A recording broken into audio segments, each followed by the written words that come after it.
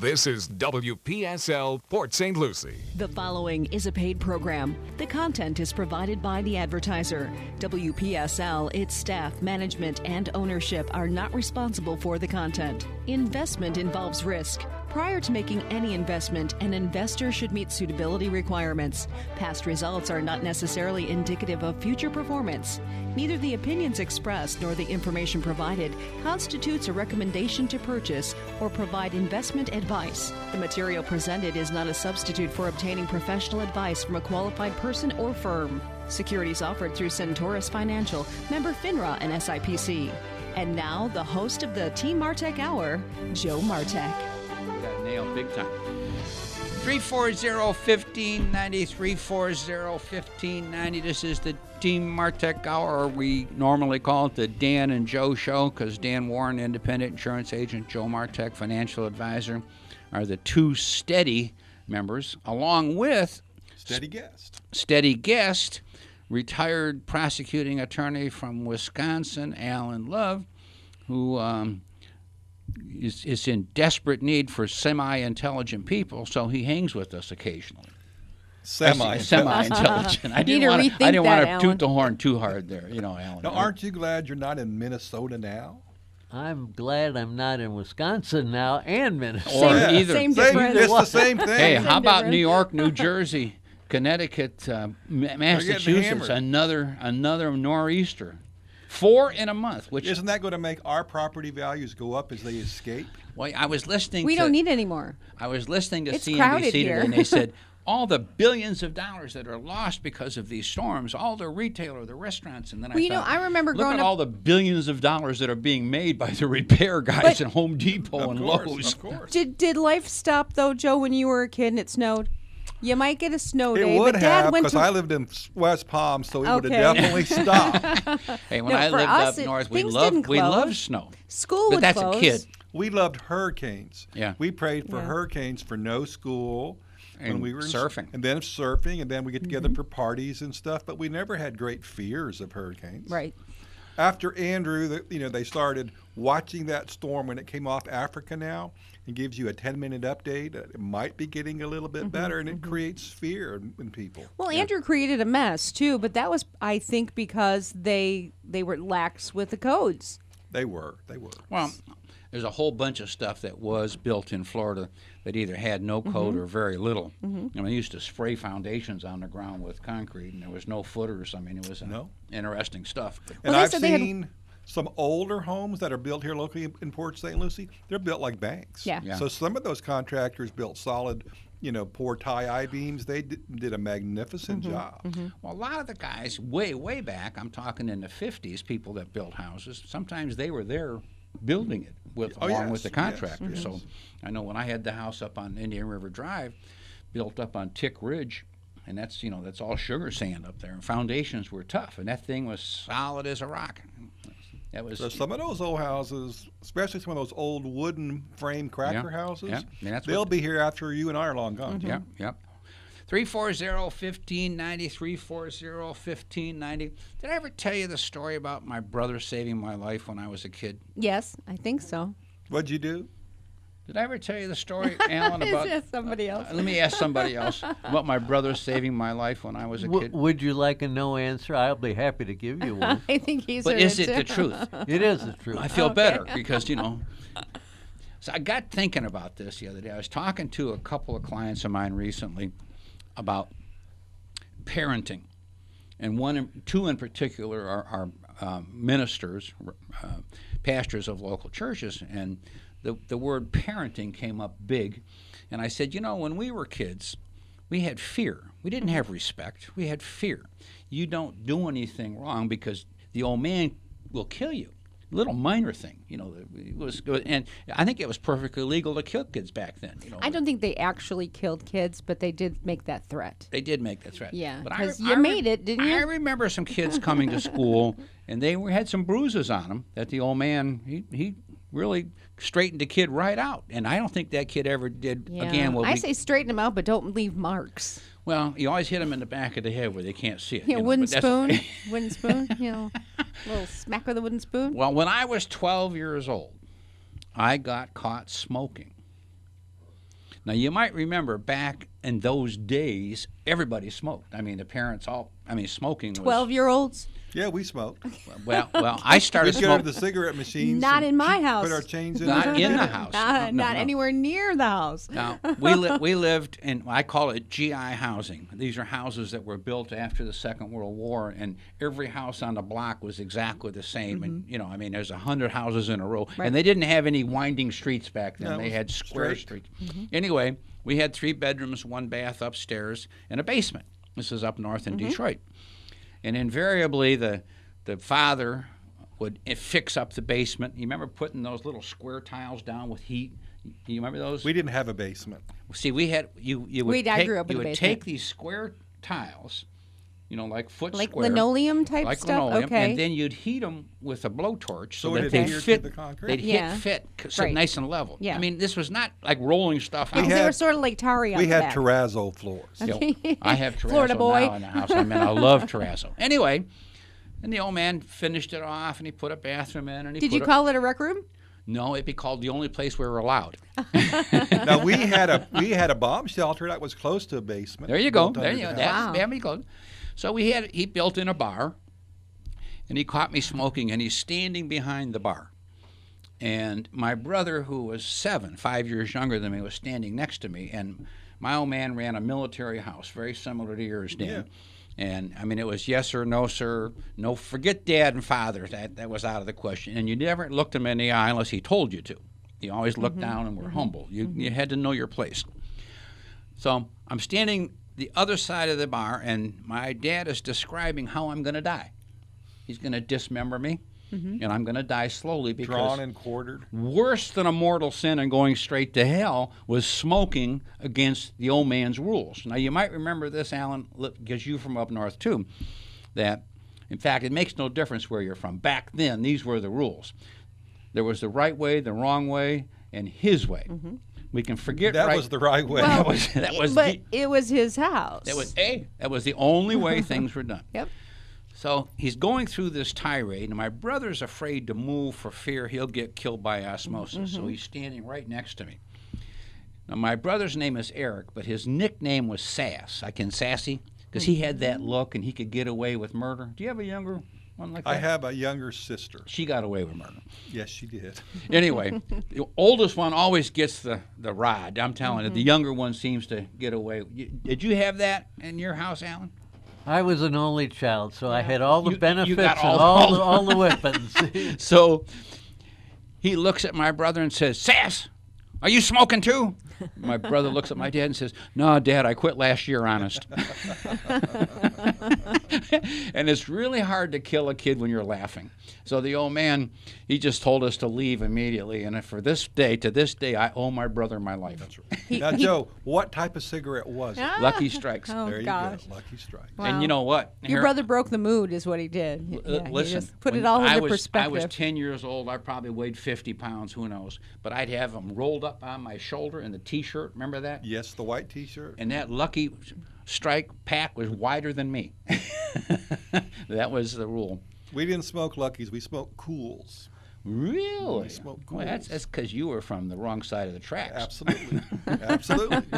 now we had Luckies were number like, one. They were, didn't even have filters. no, No. filters. They were Some out. of, of- some of my boys smoked Marlboros, but most of us smoked Cools. And then we tried dipping in snuff. Oh, boy. That didn't work. We didn't like that. Well, that was another time my old man was mad at me, and uh, he had me dip some snuff and swallow it. That's nasty. And I, that was the end of my career yeah, with I was thinking, you know, you get caught smoking. Okay, here's a pack. Get busy. You, you'll Well- you'll turn green and never smoke again. Let me just tell you what, it didn't slow me down a bit. No, I, But I will tell you this um, I was sneakier. I, I happily smoked till I was 23. And then when they got like 50 cents a pack, I said, I'm not spending 50 cents on cigarettes. I'm done. And I just quit. I started at 10, quit when I was 30.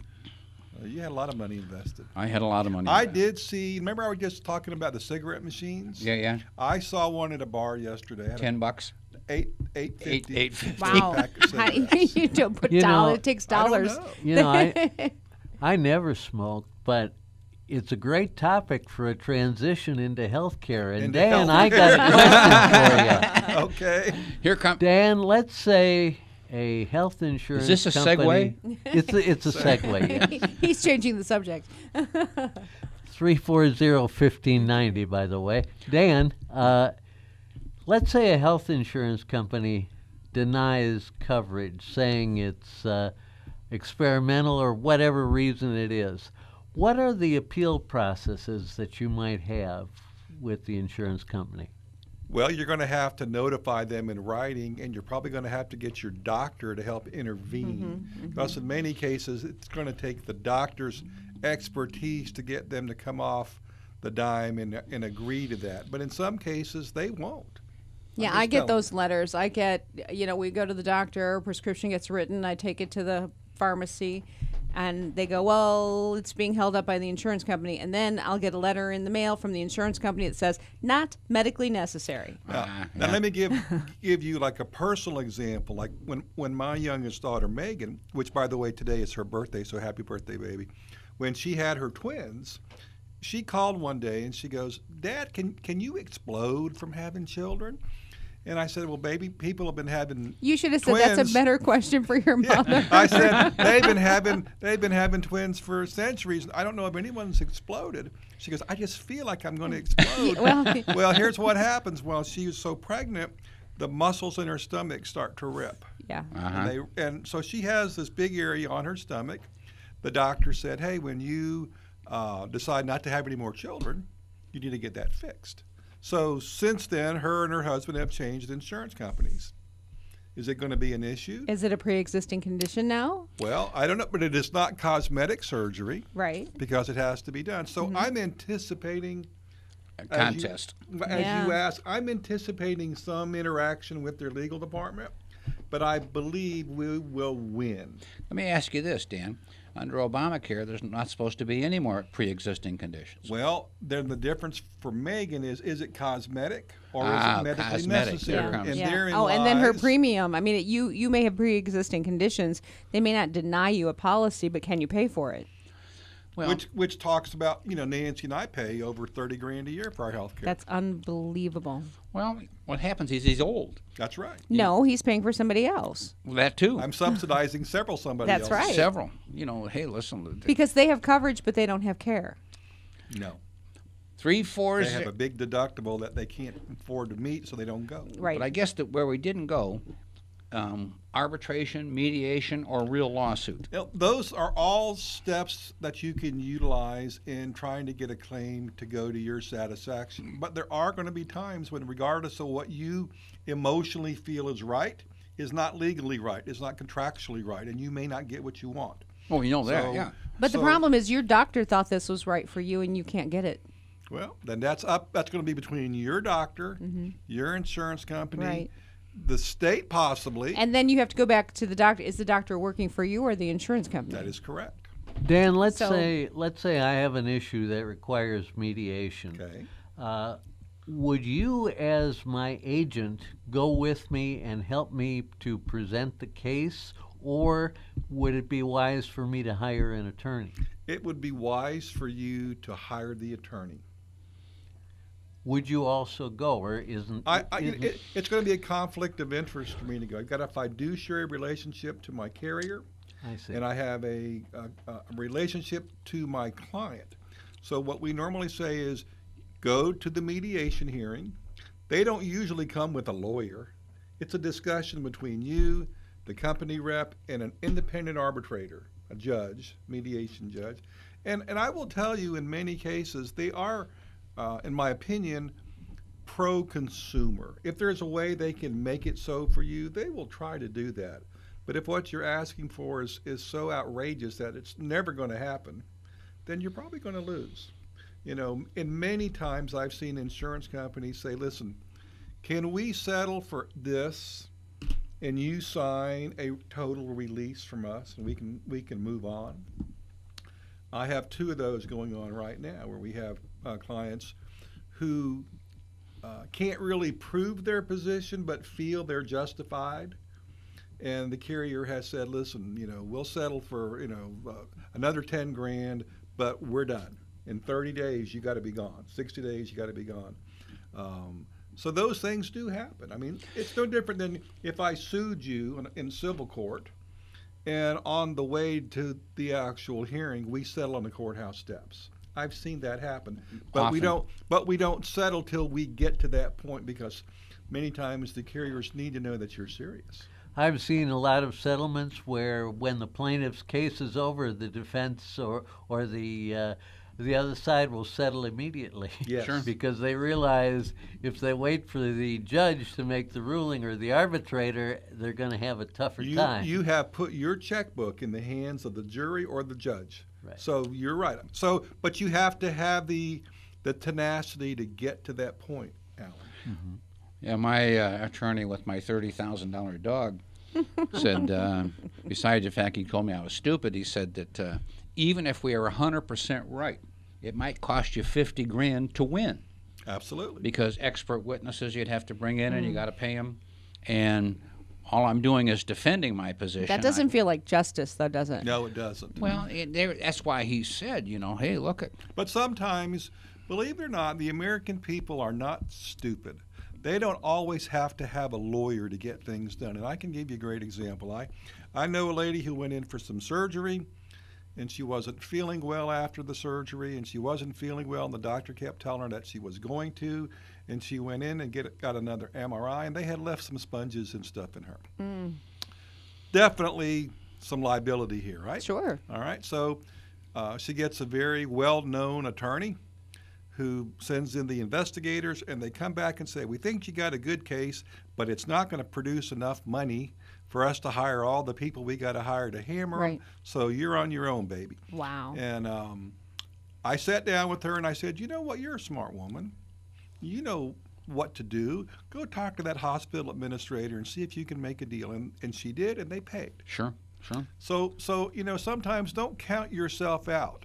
Yes, you might need a little instructions, but you know what? We have a wonderful internet system. You can go in, you can look at stuff, you can help educate yourself. So before you go in, you know what you might want to ask for. You know, don't ask for the moon because mm-hmm. that's not going to happen. Well, I would be asking to get them sponges out. Well, that happened. That know. happened. You know, there's Yeah. all, there's there's all kinds of reasons too. Like it, we do this all the time. I, I have a young man that he's in trouble with the with the IRS, and I said, look, mm. it before you start hiring somebody, go down and talk to them.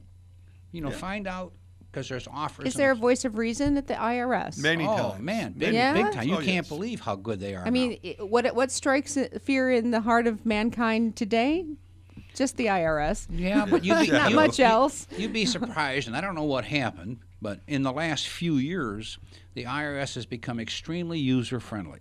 Now, maybe it's because of abuses in the past, but they work with people like crazy now to help them through. And oftentimes, uh, you, you, there's certain words that you'll hear on the tube about offer and settlement or some kind of program the IRS has, and they are. They have programs to And help you don't people. necessarily need a lawyer. No. Let me give you a great example. All right.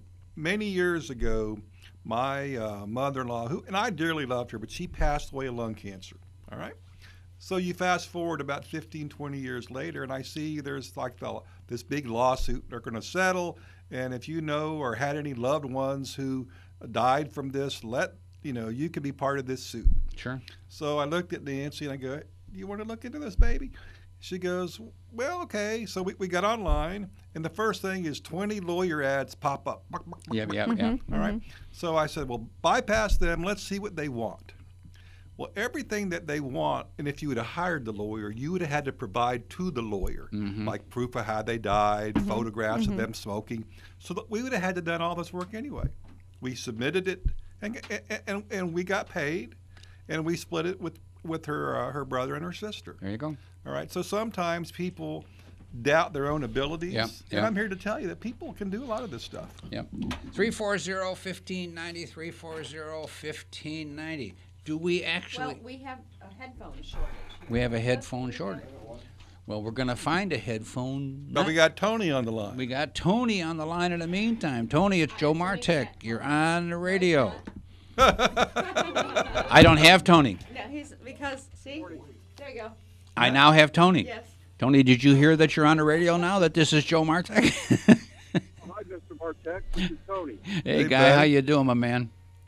I'm doing great today. The sun's shining and I'm above the ground. Amen. Amen. Listen, we like that. Both concepts. Yes, sir. And, and I, I listened to a lot of your uh, prior shows through YouTube and other sources, and I, I'm fortunate to hear you today. Uh, I have a question. You know, I uh, I'm semi-retired, but I want to get back into it. And I don't know. I listen to you because you're so interesting. How how did you get started? How would I get started? Doing, Just do, doing. What, what, what do you want? Do you uh, want to? Do you do you want to? Do you want to sell car insurance Or or do you, radio shows. Do you want to do a radio show? What do you want to do, Oh. Tony? I, I, I listen to the advice you give people, and it's just outstanding, and the way you talk about uh, the right way to handle money, and I, I want to make sure I'm doing the right thing. I was wondering how you got started. What do you what did, what did you do for a living before you retired? I, I worked for uh, Ford. And you Uh, yeah, I, I worked I worked my way up as a manager in the um, in the plant, and then I started doing a little bit of uh, paperwork and accounting for them, and then I, I retired and said I want to get back. Uh, the dollars interest me. Well, you know, there, it, it, it's, it's no easy answer. Like the Dan is always looking for people, but they have to get an insurance license. And the same thing for you, Joe. To, to do what you do, you need a Series 6 or a Series 7 license, Right. depending on the products that you want to sell, Tony. You know, you might want to find out uh, how to go about obtaining that license. Here comes the magic questions: is when you say you want to start doing something. Um, Dan and I listen. There's nothing wrong with doing this. Well, I don't care what your age is, but you, if you wanted to get involved in in handling money and being in doing investments and stuff, I'd be thrilled to talk to you and show you, and I can help you along. If you say, "Hey, I'd rather be in the car insurance or, or, or homeowners insurance or that kind of things," Dan would be glad to show you what you have to do as far as testing and courses and stuff. Um, it, it really depends on you. And here's something else to keep in mind, Tony. I mean, when when we look to hire people, um, you know, we look for a licensed people, and then we look for experience. You know, we, we would prefer to at my office to hire someone that has good experience and has some, a good track record. And many stock brokerage firms look at that also. But I can tell you this: that many major insurance companies and stock brokerage companies have training programs Sure. where they bring people in who don't have this training but who have the license because the license is the ticket in the door. Without that, you really can't you really can't do what they want you to do. See here, there's there's like lots of things. Let's just say you said, "Okay, Joe, I want to become a financial advisor, and I'm going to point you step by step." And then how would we start off? Well, you have to be sponsored by somebody like me. Normally, you can't just go ahead and get that without a sponsor. Then you pass the exams, and that doesn't teach you anything except how to pass an exam. And they're not these exams are not designed to help you pass. No. So then, then you say, okay, fine. Now I want to start doing something. Well, you can't. I, I'm 25, 30 years, and you know when you first get something, I don't care what the first job is. I don't care what your education is. I remember back my father-in-law. He was an uneducated engineer working for Ford, back when they had Ford Trade School, and he used to have to train the graduate engineers in the job. Um, and they got paid more money than he was, but he they didn't know the job. Yeah, he's the guy who knew how to do it. Yeah. But they could seal it. Yeah. So I guess Tony, where I'm going is probably the best thing for us to do is to meet off air. Let me give you my cell phone number. You can call me and we can get together and uh, and maybe have a cup of coffee and, and, and beat it up a little bit and see if we can we can put a plan together. You ready? I, I am. Go ahead, Joe. 285 3083. Okay. Just give me a call I and we'll set up a time. We'll meet for a, a hamburger or a beer or something. Give us that number again, Joe. 285 3083. All right, Tony? And we've got Bulldog on the line. Okay, Tony, we're letting you go, or we did let you go, I guess, but now we got Bulldog, right? Is this true? Uh huh. We have Bulldog on I the think radio? so. Are you Does there, Bulldog, Bulldog? know that he's on the radio? I don't think so. Bulldog, do you know you're here? I know He's somewhere. Well, yeah, let me touch myself. Yeah, yeah, yeah. Still here, it's still there. Make sure it hurts, otherwise you can't tell. Hey, I got a question for Dan. Dan, my insurance man. yes, sir. Hey, Dan Woron, sir. Uh, Wait a minute, when he starts Dan Woron, sir, Sir, you know I'm in this is trouble. not good. uh, yeah.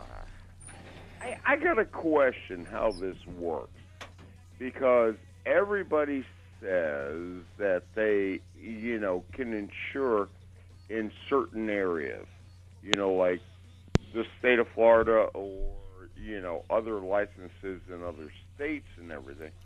But I, you know, I know where you're located, and let's say I get in an accident, you're not going to jet up here. Well, for me, you probably, well, wouldn't anyway. you know, What's your name again? Who are you? he doesn't love me that much. Right. Anyway, so you know, how does that work?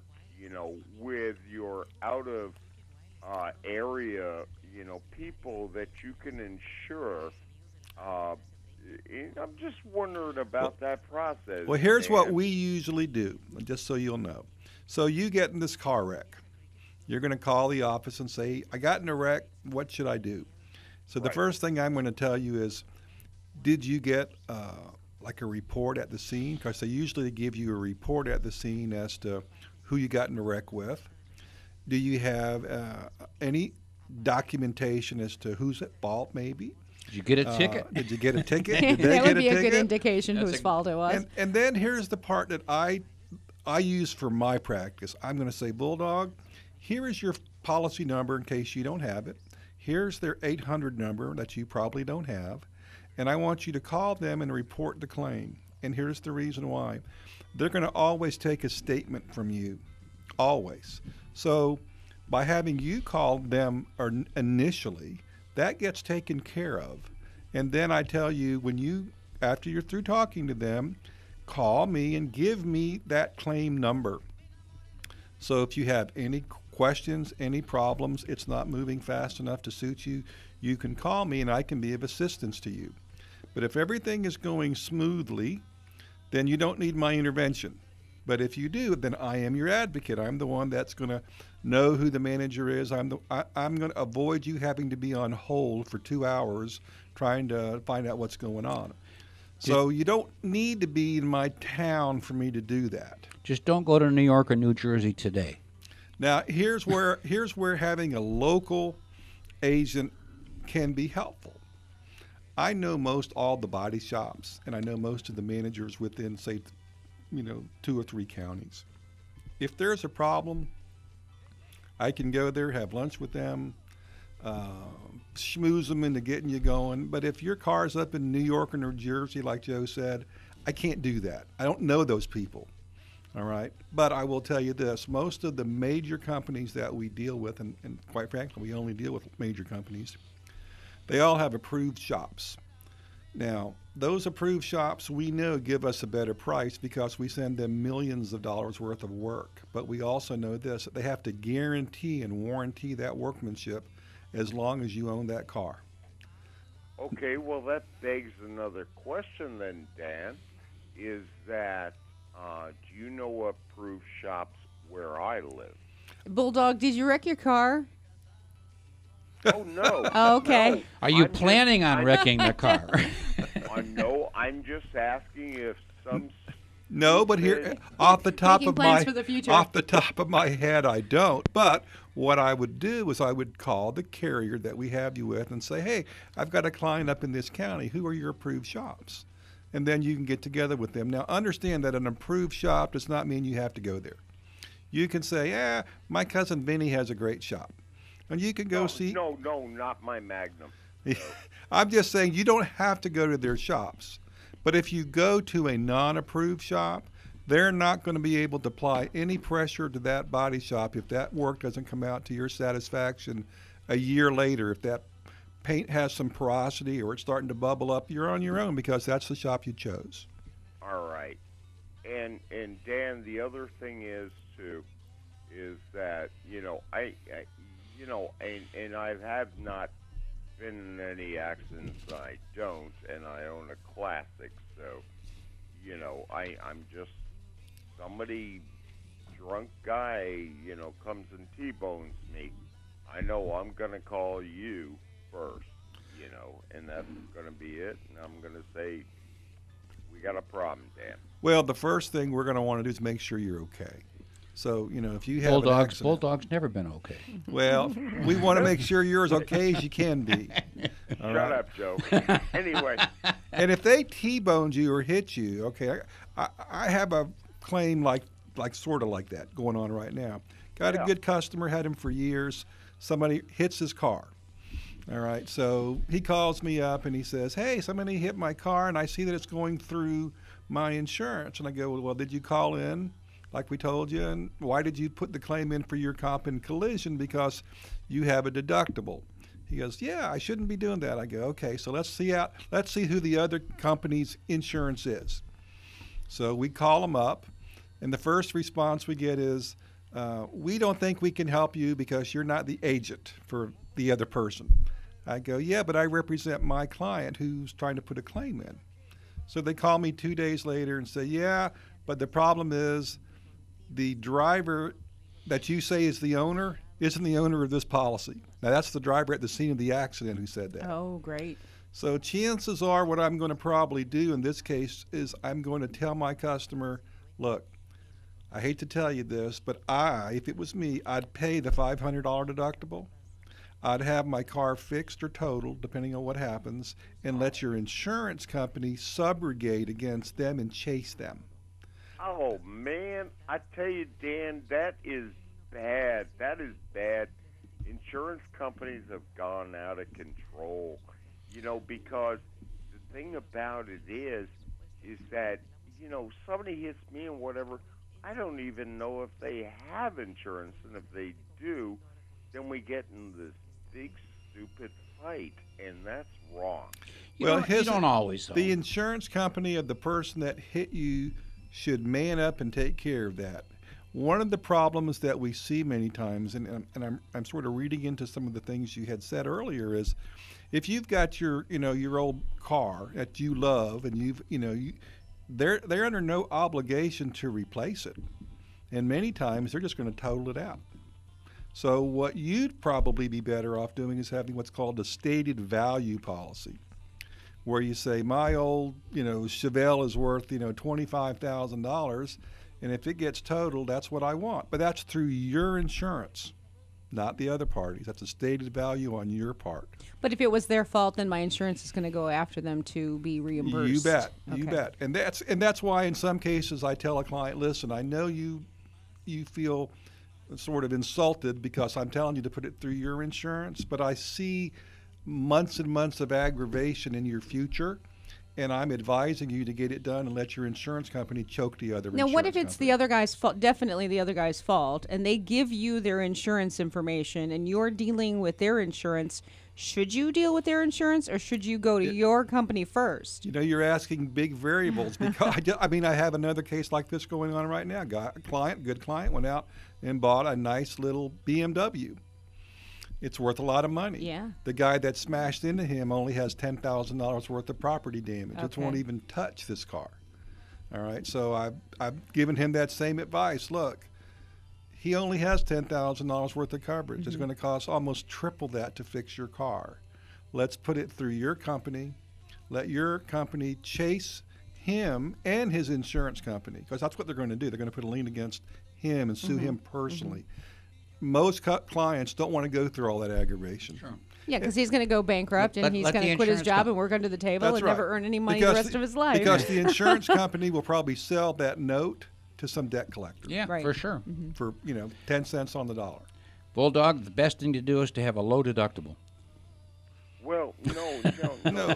what, what he's saying, what he's saying is correct, but your insurance bills are going to go up whether or not you were at fault in that collision or If it's your first claim, in many cases it will not. No, yeah, Um, I know. Well, I And mean, if you've it- got bad luck like Joe, you know. Well, if you got bad luck like Joe, Now, then Joe, it always goes up. That's but, but they don't like they my. see you coming, and it goes up, That's right? it. They see me. they yeah. see that red Mustang and it goes up. That's it right away. Hey, uh, Dan, I would want to talk to you if uh, you have any of those selective insurances for uh, any kind of uh, vehicles that are, you know, what you would. Uh, You got a classic car, right? well, two, What's it worth? 2006 Magnum SRT. Yeah. Ooh. So what you want to do is, you know, obvi- Dan, what do they do that you give a stated value? Do they? Well, do they? in many cases, you got to get some sort of an appraisal made for it. yeah, Oh, because I they're can- just going to Kelley Blue Book happen. that. So once Sure. you get an appraisal made for it, th- then get that to me, and I can see if we can get you a stated value policy based on the rare collectability of that particular model. Because you know you can buy a new car and it'd be a, a, a collectible car from day one because it's a limited yeah, edition. right, right. I, I'm getting too old to do that. Wait a minute, And getting I ain't what? got what- the funds. It's the funds that I was just going to say, them. you you've been too old always, but you know the, the money is the big problem. Yeah, the money is the big problem. Yeah, I, you know, at least I don't have a boat that I can just throw money at. But Well, he can sit in the boat and pretend he's going somewhere. That's it. I hey, listen, I sit on a boat and it doesn't cost nearly as much as if I move it. That's right. Yeah, just throw a hundred bucks at the hull and That's it. You know, That's it. plug a hole. All right, my man. Every, right. Everything else is good. Yeah, yeah, we're all cool, Joe. Thank you, man. All right, All take Uh, care. Good. All is well. Good talk to you, Bulldog. 340 1590, 340 Now, 1590. you know, my grandkids used to love to get on the boat that's moored up Yeah. and play pirate and stuff. Yeah, you should pretend do like that, you- Joe. You I should- do that. You should Like get like a pirate- patch and iPad. stuff. I'm not even gonna tell you that pirate and- joke. and, and a bottle of rum. Uh, the rum, yes. Dan, uh, let's carry this on a little bit. Let's say you get T-boned or hit, and it's in the boondocks. You're near a small town. Uh, there are no car dealerships. There's maybe a, Well, somebody drags it into a mo- garage. a Motel Six if you're lucky. Okay. If uh, if uh, that situation, is there a way of picking up ancillary expenses? In other words, uh, your hotel or motel stays, your meals, your getting to a car dealership to rent a car, or Many policies, if you have the towing and labor endorsement, have that built into the towing and labor endorsement. In many cases, you have to be over 100 miles from your residence, or there's there's there's little um, windows that have to open for it to activate. That makes sense. yes, In other words, just because you live in the boonies doesn't mean that if there's nobody there that you get to stay at the local Motel 6. You got to stay, your, your accident must be at least 100 miles from your house, or depending on what the company says. Or would they just tow the car to They back might. home? And motorcycles have that same And thing. you many ride in the cab Your the motorcycle truck. breaks down. Well, if it breaks down in town, uh, they're not going to put you up in the hotel. They'll still Yeah. Mm-hmm. tow your, your, your vehicle. But if you're over a certain distance away, then they're going to put you up for a day. Mm-hmm. 340 That makes 1590. Yes. 340 1590. Well, that, that was that was a good call. Bulldog. Well, you know, each policy is a little different. You know, so when we have customers who come in, we go into the in-depth reasons as to why they should have this endorsement Sure, or why sure. they shouldn't. And that's why when I see on TV, they go, "Oh, and you know, in three minutes we can uh, we can get you going here, and you'll have a great policy." Well, that's just not really true, in my opinion. They might have t- got your name and your address and your phone number, uh, but they won't know all the ins and outs of what you need. It's impossible. It's an interesting time. Interesting time politically. Would you say that? Well, you know, um, the Don has stirred the pot a little. I think he's stirring the pot pretty well right now. You know, one of the things that I like, Joe, is, you know, most people who are professional politicians, as I call them, they feel that that is a job forever.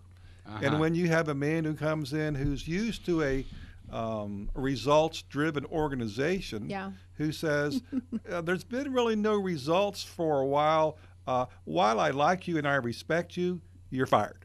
right? And people go, I can't believe he did that. How could he do that? Yeah. Well, that's because he wants results quickly. hey, the man's making things happen. Well, he knows he only has, you know, another seven or seven years left to go. So there's a lot of things he has to get done in that short period of time. Yep, Because yep. that's quick seven years.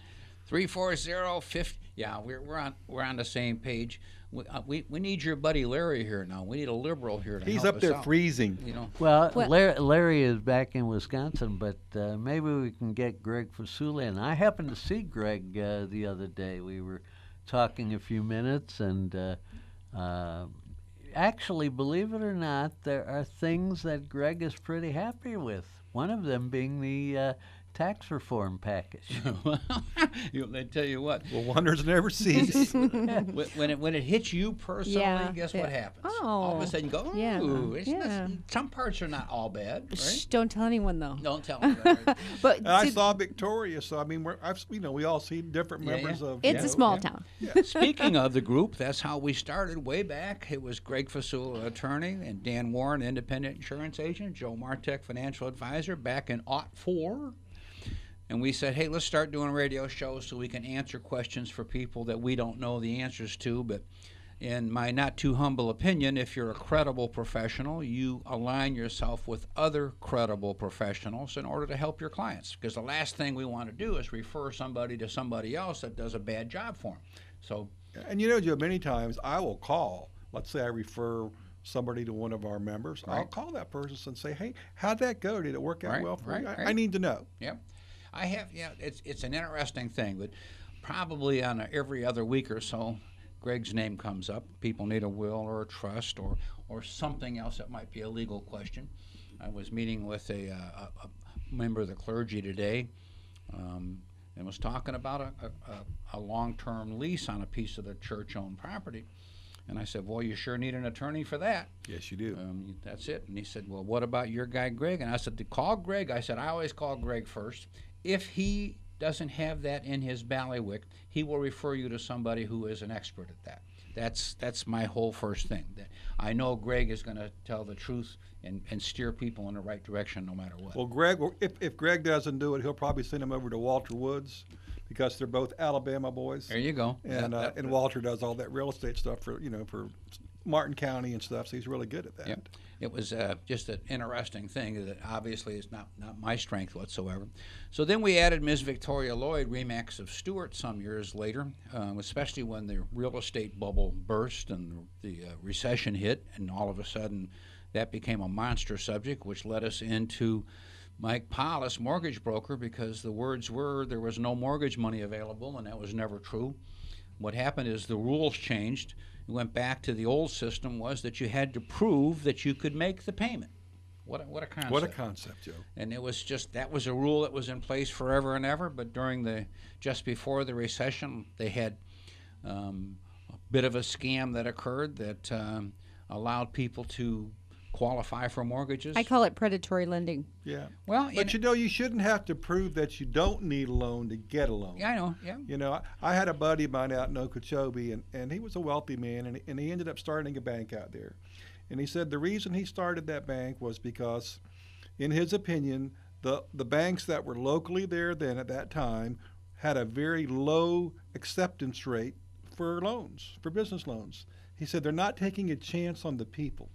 He goes, we need to have a Now, bank. how that- many years ago was that? Uh, probably 15 years ago. Because you know today with Dodd Frank, I mean all those rules are gone, but they're trying to repeal that thing right now. I know. And let it let it go back to being a people oriented rather than a number oriented thing. So it should be a relationship. Yep, It should yep. be yes, you got to have a pro forma to show me how you're going to pay. of course, But at the same time, like I said, you shouldn't have to prove you don't need it yeah. to get it. No, You should be able to prove you can pay it back. that's the key. Can you prove that you can pay it back? And then the fact is, if if every single time was a business loan that you could prove you could pay it back, you'd never have new businesses starting. That's right. I mean, it just wouldn't occur. So Because most businesses are based on assumptions. They're based I'm on going to do this, and I Yeah. and, and if I do this, I should make this much money on this Their much business work. plan. Their Business business, plan, plan, yeah. and it has to make sense. 340-1590, 340-1590. So the name of the game was we're going to help people save money or we're going to help people make money. Speaking of Making money, money. um, How are you going to help me today, Joe? well, you know, I, I've got two major subjects that I'm, I'm, I'm just kind of become two-dimensional lately. What's happened is we watch the market do extremely well for a good long period of time. Right now, it's in a bit of a flux that has nothing to do with the economy, which is very interesting. But the market has been pretty flat since the first of the year, and the economy keeps humming along. And in fact, unemployment's gotten down to 4.1%, which is a very, very, very low number. Wages are going, everything in the world is moving positively except some parts of the market. And why? Well, perceptions, politics, um, lawsuits, international crises, crises that may not occur, crises that might occur. Might, yeah, I like that. Um, anyway, so these variables sneak in. I fully expect this year, meaning 2018, to be a decent year. It may not be as good as last year. The S&P 500. Alan, what did the S&P 500 do last year? Twenty-five percent. Yeah. Well, if you're going to predict and sit here today, because you've been a financial advisor, a part of your history, what would you guess the S&P 500 will end up this year? What would be your opinion?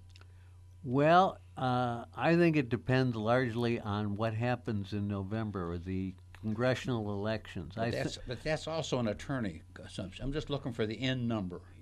What's your guess? Can I have a range of say three percent? Absolutely. Go ahead. All right, I'd say between eight and eleven percent on the upside from the close on December 29th. I was going to go to seven Friday. to ten, so you and I are on the same boat. But I already knew that. But that's okay. The reality, I figured to be about a ten percent year. Now, That's a, still a great year. It's a great year. Now, what happens is, and what Alan was leading us into, if the midterm elections, if the Republicans lose the House or the Senate, um, it, it could adversely affect the whole market as we come out towards the end of the year. Don't Now- we expect them though to lose because doesn't that normally happen? Didn't it happen with Clinton? It happened with It Obama. has in the past. That doesn't mean that, that it's going to GW. happen. It happened at GW too. Well, it doesn't mean that it's, It's going it's not going to affect the market much if uh, if the Republicans lose some seats, but That's if they lose one of the houses, they the lose one. Senate or the House, Well, then there's the other side of the coin is that won't adversely affect the economy immediately. Immediately. Because the economy, if it's humming along, we're not changing anything immediately in the houses. Or But again, it's not the economy; it's just the feeling. it's perception. Yeah. Perception. Well, the economy's like a like a train. It doesn't stop on a dime. Even if you pull that string, it doesn't Right. just stop. It takes a long time. But when it stops, boy, does it take a long time to get it going again. So when a recession hits, hey, you know, it's, it's the same thing. So literally, what I talk to people about. Okay, let's talk about short-term money. Short-term money to me is a year, six months at least, but at least let's talk a year. Uh, there's five percent instruments out there. They're utilities.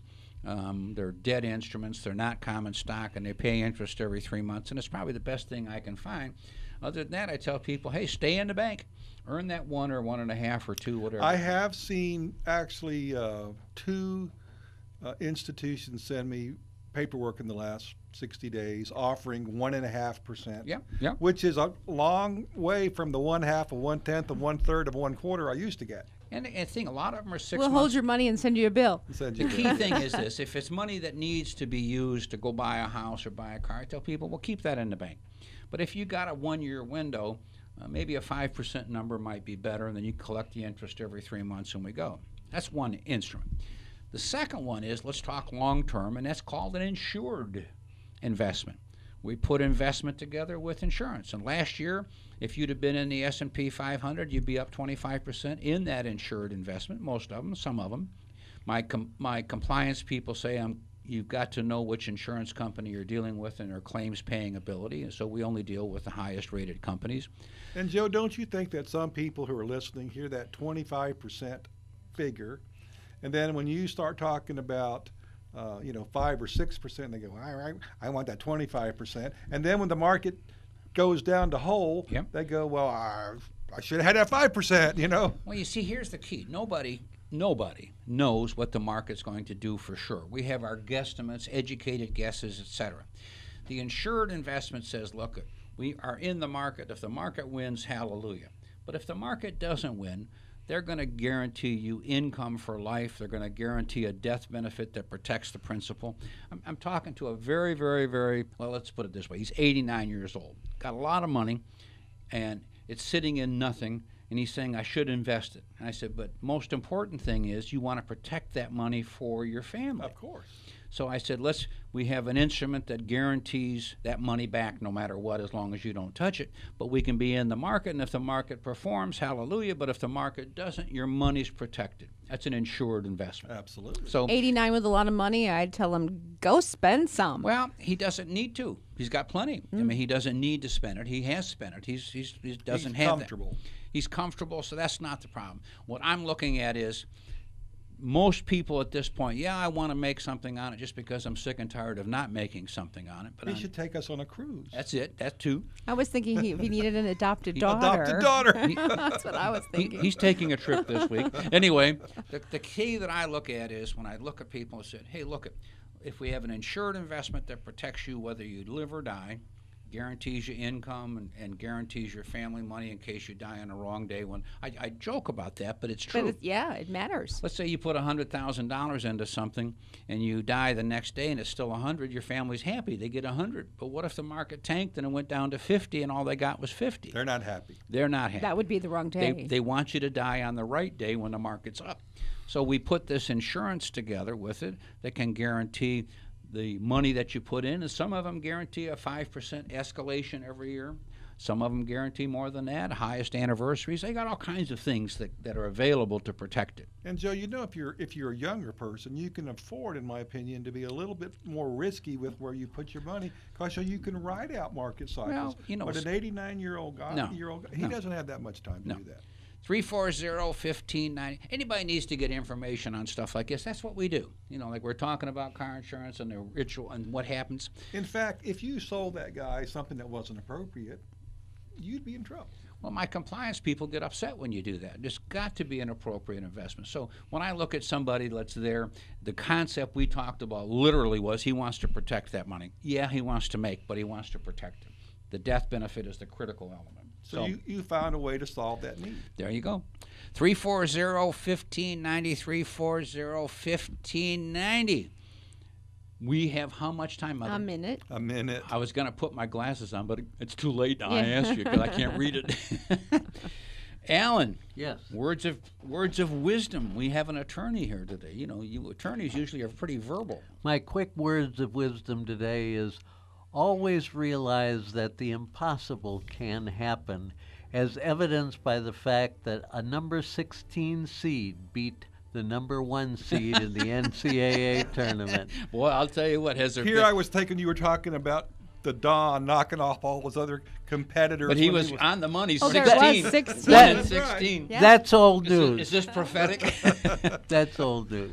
All right, guys. I think we're just about winding. Yep. Where, where are we winding? Winding 30 seconds. Winding 30 seconds. Dan? hey, you know, I, I hope everybody has a blessed, you know, blessed day, and that they get out there and enjoy the beauty of today because it's a beautiful day out. Yeah, well, I'll tell you. Thank you, Lord. We're in Florida. Absolutely. All right, you guys, and until next week, Bulldog, thanks for calling. Tony, thanks. We'll talk to you next week. Adios.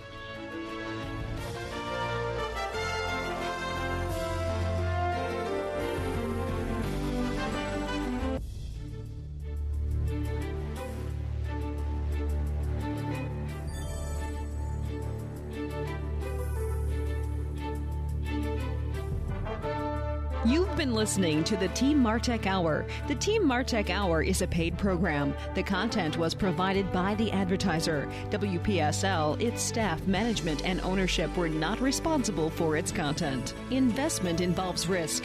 Prior to making any investment, an investor should meet suitability requirements. Past results are not necessarily indicative of future performance. Neither the opinions expressed nor the information provided constitutes a recommendation to purchase or provide investment advice. The material presented is not a substitute for obtaining professional advice from a qualified person or firm. Securities offered through Centaurus Financial, member FINRA and SIPC. Tune in again next Wednesday at 11:05 for the Team Martek Hour here on WPSL 1590.